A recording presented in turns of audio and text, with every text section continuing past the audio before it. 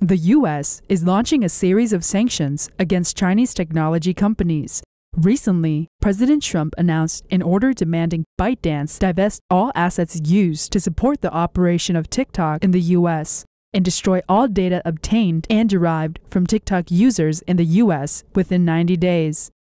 On August 14, US President Trump announced the latest executive order regarding TikTok. President Trump emphasized that credible evidence shows that the parent company of TikTok, ByteDance Limited, threatens to impair the national security of the United States. The executive order states that any transaction resulting in the acquisition by ByteDance of Musical.ly and the ownership by ByteDance of any interest in Musical.ly in the US, whether affected directly or indirectly through ByteDance, are prohibited. Sanctioning TikTok across the board and divesting and separating TikTok from ByteDance Ltd will become a model for Trump administration to follow when dealing with Chinese companies with similar criminal actions in the future. This will be able to completely wipe out, discard, and stop the CCP's control over TikTok. In other words, it is possible for TikTok to continue its existence as a normal business company in the future, but it will no longer threaten the national security of the US. Also, TikTok will not be used by the CCP as a platform for brainwashing and unilateral propaganda against the American users. In November 2017, ByteDance Limited acquired Musical.ly, a platform for creating and sharing short lip sync videos for 1 billion US dollars. After integration, TikTok was launched in the US. Since the end of 2019 and early this year, the CCP covered up the Wuhan pneumonia epidemic that later became a global pandemic. Many countries, including the United States, are calling out the CCP to be responsible for the pandemic and this has isolated the CCP on one side. In terms of technology, more and more countries are abandoning Huawei 5G for national security reasons. In late June, India even further banned 59 Chinese applications, including TikTok and WeChat.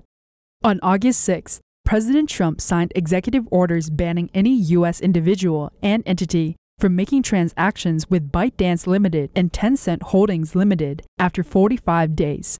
The executive order stated that WeChat and TikTok obtain private personal information to censor content, monitor, and propagate and spread disinformation on behalf of the CCP.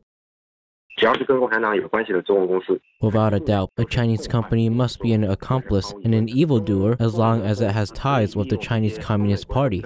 These CCP controlled companies use big data collected from the US to study artificial intelligence, thereby posing a great threat to US national security. Jin further indicated that through big data, the CCP is capable of not only stealing confidential information, but also influencing U.S. elections and controlling critical infrastructure, like the electricity grid. Therefore, the White House must shut down these Chinese technology companies.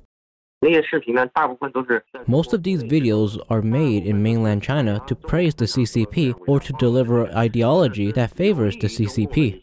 Moreover, WeChat has many vulgar and indecent content, and together with TikTok, they are a type of drug. The definition of this drug is that you get addicted to it and it controls your emotions and actions. This is what drugs do. So I think it is good to ban them.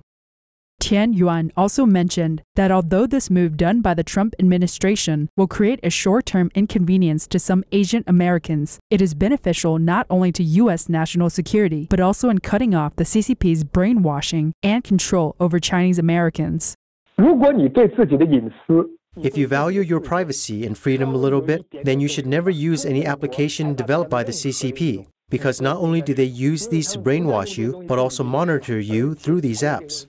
The Epoch Times reported that President Trump's executive order demonstrates the determination and the willingness of the White House to remove Beijing's control of TikTok in the United States if ByteDance Limited is unable to divest within the deadline. The Committee on Foreign Investment in the United States has the power to execute the order.